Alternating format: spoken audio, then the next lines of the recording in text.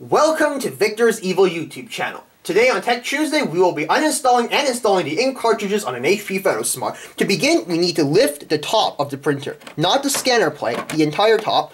We tip that forward, and uh, the inks will slide over. Be patient.